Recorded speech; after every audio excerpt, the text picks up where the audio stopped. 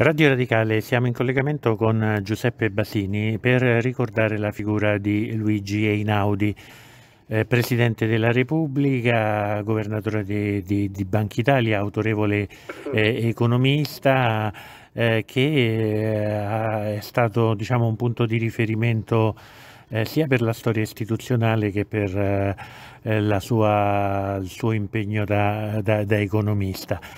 Siccome cadono i 60 anni dalla scomparsa di eh, Luigi Einaudi, volevamo ricordarlo con eh, un liberale doc che come lui era eh, monarchico, anche se poi è diventato, Einaudi è diventato presidente della Repubblica. Ricordiamo che la scomparsa di mm, Einaudi è, è, del 30 ottobre del 1961. Allora, quando pensa a Einaudi, eh, onorevole Basini, qual è il suo primo eh, ricordo e soprattutto per quale motivo lo ricordiamo Einaudi? Ma mm, quando penso ad Einaudi la prima cosa che mi viene in mente è che nessuno come Einaudi ha avuto un'esperienza di vita che è passata praticamente attraverso tutta la storia italiana moderna, perché Einaudi nasce nel Cuneese eh, ancora in pieno Ottocento, nel 1874 quindi si forma ancora in pieno Ottocento. È un uomo di poco più di 45 anni quando scoppia la Prima Guerra Mondiale. Eh, attraversa tutto il fascismo. Nel dopoguerra, nel secondo dopoguerra, ha importantissimi incarichi, il governatore della Banca d'Italia, ministro del Tesoro, poi Presidente della Repubblica. Insomma, è un uomo e muore nel 1961, come lei ha ricordato. Quindi ha passato praticamente tutte le fasi significative della trasformazione della nazione italiana. È un'esperienza direi quasi unica eh, che eh, già di per sé connota una storia. Einaudi nasce a Torino, figlio di un funzionario, e si forma molto brillantemente agli studi, si laurea in maniera ancora più brillante e eh, dimostra fin dall'inizio delle grosse capacità di studioso. Ha una iniziale simpatia per i socialisti turatiani, che a un certo punto però eh, viene meno perché si convince sempre di più che la libertà economica è la vera base fondamentale per la libertà politica e ritiene che il socialismo sia una un grosso ostacolo allo svilupparsi della libertà economica. Quindi parte con un'impostazione liberale di tipo liberista, d'altro canto ehm, è lui soprattutto a pronunciare questa differenziazione linguistica che c'è praticamente solo in italiano tra liberale e liberista, eh, che poi animerà una storica polemica tra amici e studiosi con Benedetto Croce che invece aveva una concezione direi più idealistica della libertà. Eh, noi possiamo dire che eh, ricordiamo più volentieri l'economista che l'uomo delle, delle, istituzioni, anche se parecchie innovazioni da uomo delle istituzioni eh, le, le, ha fatte è, oppure è un'impostazione sbagliata? È un'impostazione sbagliata perché eh, il politico Inaudi forse è stato perfino più grande dell'economista Inaudi. È stato un grande economista e questo lo sappiamo tutti. Eh, certe sue pagine scritte all'inizio del secolo sul libero scambismo, eccetera, sono molto illuminanti. D'altro canto, che la formazione economica avesse in lui un grosso peso è dimostrato dal fatto che all'inizio dell'esperienza fascista lui appoggiò questa esperienza, ma non perché fosse d'accordo con la politica di Mussolini, che allora nessuno ancora aveva ben capito dove avrebbe portato, quanto perché era d'accordo con la politica di De Stefani che eh, era più libero scambista di quanto fosse ecco, stato Giolini. Ricordiamo, De, uh, De Stefani era un economista che divenne ministro delle finanze del primo governo Mussolini. Esattamente. Ehm, dove la rottura, ecco perché l'uomo politico era anche molto importante in Einaudi, venne subito dopo, quando il fascismo cominciò eh, con le leggi, con un fortissimo premio di maggioranza, a cambiare le leggi elettorali e soprattutto dopo il fatto Matteotti.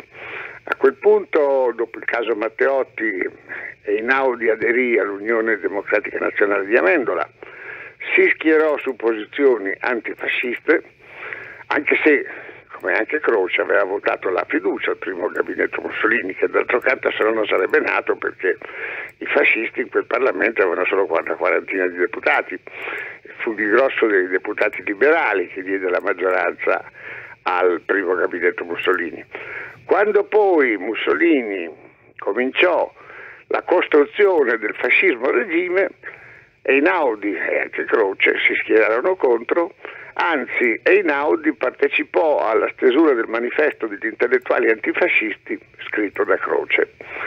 Um, man mano che il fascismo evolveva e diventava regime, l'opposizione dei Einaudi diventò sempre più forte ad esempio le leggi elettorali del 1928 ancora più restrittive e sostanzialmente non più democratiche, nel senso che i candidati venivano presentati dal Gran Consiglio del Fascismo, si doveva dire sì o no, ehm, a un certo punto lui diede le dimissioni da giornalista del Corriere della Sera perché avevano mandato via la vecchia proprietà ed era diventato un giornale fascista. Eh, smise alcuni insegnamenti e si ritirò negli studi di economista essenzialmente. Eh, firm, eh, giurò fedeltà al fascismo perché altrimenti avrebbe perso la cattedra, ma la sua posizione fu sempre di critica, una critica che, va detto, il regime lasciò che si svolgesse, lo fece sia con Einaudi sia con Croce, perché Ehm, l'altezza del magistero di questi due pensatori era tale che il regime ritenne che fosse suo interesse lasciarli operare, sia pure in un ambito strettamente non politico.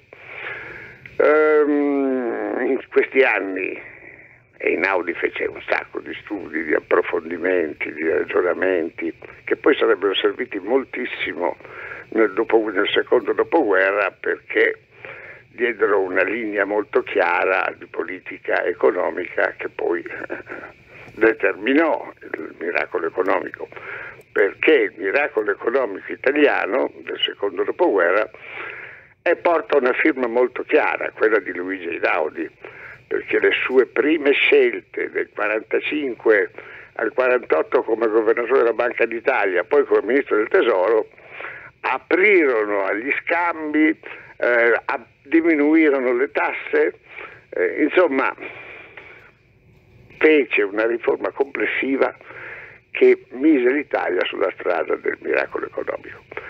È interessante vedere anche l'evoluzione politica di Einaudi, perché Einaudi, come primo Presidente della Repubblica eletto dal Parlamento, De Nicola era Presidente provvisorio prima di lui, Einaudi diede un taglio alla Presidenza della Repubblica che poi sarebbe rimasto, un taglio interventista, perché più volte mandò indietro delle leggi al Parlamento rifiutandosi di firmarle, non solo, ma introdusse una grossa innovazione col governo Pella. Non riuscendo alla caduta dell'ultimo governo De Gasperi a eh, imporre Piccioni, che era il suo erede naturale, a primo ministro, ci fu uno stallo in Parlamento e Einaudi nominò di sua iniziativa Giuseppe Pella primo ministro. Ecco, è l'invenzione del, del, go, del, governo del Presidente. Esatto, perché non fu indicato dalla democrazia cristiana Pella, fu scelto da Einaudi. Poi trovò una maggioranza in Parlamento perché lo votarono tanti monarchici che parecchi eh, socialisti. Quindi fu una maggioranza trasversale da un certo punto di vista. Dopodiché eh, la presidenza dei Naudi, se vogliamo, il governo Draghi di oggi è figlio dell'esperienza del governo Pella degli anni 50 e la formula che adoperò Einaudi fu la stessa che ha adoperato Mattarella per il governo Draghi. Quindi c'è un precedente significativo, anche politico, nell'azione di Einaudi. Ma poi ricordato eh, che l'uomo era capace di sintesi notevoli perché sull'opinione del 46 Einaudi si espresse per la monarchia. Invitò a votare monarchia al referendum. Questo non gli impedì assolutamente, perché la continuità della nazione in Einaudi era ben presente, era molto patriottico Luigi Einaudi, a servire poi il paese come repubblica una volta che il corpo elettorale, anche con i molti dubbi che rimangono, aveva scelto la Repubblica. È vero questa cosa che quando Andreotti andò a proporre la carica di Presidente della Repubblica a nome di De Gasperi, lui disse che non se la sentiva perché andava in giro col bastone e che quindi non avrebbe potuto fare la, diciamo, avere un portamento marziale durante la, il, le rassegne militari. È vero, la, lo ricordava anche Andreotti, però insomma era poco più che una battuta, insomma era una considerazione, non è che fosse una vera e propria mh, considerazione di una cosa che fosse ostativa, ecco.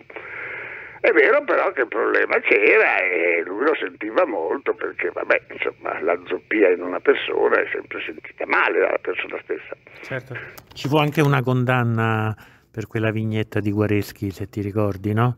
Che... Fu una, una pagina dolorosa e brutta per entrambi, sia per Guareschi che per Einaudi. Eh, ricordiamo che Guareschi è stato l'unico giornalista nella storia repubblicana a farsi un'intera, eh, diciamo, eh, a farsi una pe- cioè a stare in carcere per tutto il tempo che doveva starci per una condanna, cosa che non è più successa. Eh, diciamo questo, che mm, eh, Guareschi non andò in prigione per la vignetta su Einaudi. Sì, quella, sì, per, andò in prigione per quella cosa di De Gasperi. Aveva trovato un documento che indicava in De Gasperi uno che aveva eh, chiesto agli americani di bombardare le zone italiane per far cadere prima il fascismo, che era però un falso, un apocrifo non sarebbe stato condannato Guareschi se non avesse avuto già prima una condanna perché aveva fatto una vignetta in cui c'era un fiasco che sparava un tappo con la faccia dei Naudi, in quanto Einaudi era un famoso produttore di vino. Quindi il combinato disposto delle due cose. Quello che è certo è che fu uno scontro di due caratteri molto forti, perché eh, Guareschi è stato un un personaggio addirittura mitico dal punto di vista della limpidezza e della forza di carattere. È un uomo che si è fatto tre anni di carcere tedesco durante la guerra perché si rifiutò di aderire alla Repubblica Sociale in quanto lui era monarchico e liberale.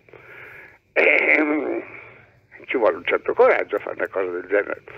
Questa sua rigidezza di carattere la dimostrò anche dopo, quando avendo trovato questo documento, che era falso, ma lui lo ignorava, pur essendo stato uno dei principali artefici, Giovannino Guareschi, della vittoria della democrazia cristiana il 18 aprile del 48, perché la campagna del Candido fu qualcosa di incredibilmente efficace, bene, siccome era convinto che il documento fosse vero, eh beh, riteneva suo dovere di pubblicarlo. Eh, è il problema con i grandi caratteri, le grosse personalità, che molte volte hanno delle rigidezze che sarebbe meglio non avessero, anche perché, se non altro per il fatto del comune sentimento monarchico, eh, Guareschi sì, era molto vicino dei Naudi come modo di pensare e di sentire. Però l'umorista che era in lui, lo spirito libero che era in lui, il dissacratore che era in lui, erano irrefrenabili. Quindi mm. per questa, per questa Senti, volevo chiedere... si trovò dei guai dopo perché eh, Luigi Einaudi, che come caratterino non scherzava neanche lui, se ne ebbe a male lo querelò. Eh, dunque, eh, un'ultima cosa, ogni volta che si parla di rigore economico, di governo del presidente, si chiedono dei sacrifici agli italiani, molti ricordano il discorso di Einaudi sulla patrimoniale. Uh, allora, uh, è un mito negativo oppure non è stato letto bene il discorso di Einaudi sulla patrimoniale, sulla tassa? Non è stato letto bene, perché Einaudi era perfettamente conscio, primo, della necessità dell'accumulo di capitali per far avanzare l'economia, secondo, della necessità che il mercato fosse il più possibile libero. Einaudi però viveva in un periodo in cui c'era da ricostruire un paese. Il 45% del reddito nazionale era andato distrutto. La lira valeva in realtà, i depositi valevano valori reali un terzo di quello che valevano nel 1938. In quella situazione c'erano delle cose insomma, eh, necessarie al momento. E beh, eh, se si pensa un liberista come Einaudi, che fa il primo grande consolidamento del debito, ma era una situazione da stato d'emergenza, perché Einaudi fece questi provvedimenti come consolidamento del debito, ma subito dopo cominciò una politica di abbattimento delle tasse, di libero scambismo e di apertura dei mercati, che poi provocò. Quindi il liberismo di Einaudi è fuori discussione anche perché era basato su solidissime basi teoriche. Lui aveva introiettato completamente la scuola inglese in materia economica e ne è diventato uno dei più grandi maestri. Bene, io ti, ti ringrazio per averci fatto questo bel ricordo di Luigi Einaudi la prima persona a cui abbiamo pensato per farlo sei stato tu, anche per uh, alcuni tratti comuni che avete, siete tutti e due liberali, siete monarchici e quindi era interessante fare un, un, ricordo che non fosse diciamo, il solito ricordo convenzionale dove si cita sempre il conoscere per deliberare. Bene, Vorrei che... aggiungere qualcosa ah, sì, che non riguarda Inaudi, ma riguarda la persona che Inaudi lanciò nella, nella vita politica italiana, cioè Giuseppe Pella che ho conosciuto molto bene perché è stato anche mio testimone di nozze, quindi una persona che frequentavo molto spesso. Un giorno ero in macchina con il presidente Pella. Pella era della stessa scuola di Einaudi, sparagnino, meticoloso, preciso. Quando uscì la legge sopra l'obbligo della marca da bollo per gli accendini e, per, e così, così, come per i, per i fiammiferi, era chiaro che doveva riguardare anche gli accendini delle automobili. Pella, sulla macchina sua di servizio, non trovava la marca da bollo vicino all'accendino. Si risentì con l'autista. Il bello è che questa cosa Pella me la raccontò tanti, tanti anni dopo, in presenza dello stesso autista che era ancora quello. E subito gli comprava la marca. E un giorno Pella si seccò, cioè, ma lei deve comprare, ma lei è il Presidente del Consiglio, ma figuri se lei deve... No, proprio perché sono il Presidente del Consiglio devo dare il buon esempio. Gli fece una sfuriata e finalmente trovò la marca da bolla a fianco dell'accendino. E non, dice, non feci in tempo, mi raccontava Pella, davanti all'autista. Dice, ah, essere contento di questo fatto, lui mi disse, eh, Presidente, mi ha fatto faticare però, sa, come l'ho fatto faticare? E non volevano darmelo, come non volevano darmelo? L'autista, che non concepiva che il primo ministro dovesse avere le cose come gli altri, era andato da un tabaccaio e si era fatto regalare la marca perché era per il primo ministro. Pella con l'aria disperata faceva, ma si immagina se la cosa fosse finita sull'unità? Certo. L'avrebbero fatto nero? Lui che... L'avrebbero fatto nero essendo lui completamente... L'avrebbero fatto, l'avrebbero fatto rosso? Ma l'autista non accettava l'idea che il primo ministro dovesse avere gli stessi obblighi dei cittadini. Certo. Beh, è molto, molto divertente come... È un altro mondo che quello dei Pella e degli Einaudi che non c'è più ed è un gran peccato che non ci sia più. Bene, io ti ringrazio, grazie a Giuseppe Baldini per aver ricordato Luigi Einaudi e anche Giuseppe Pella, grazie. Grazie, arrivederci.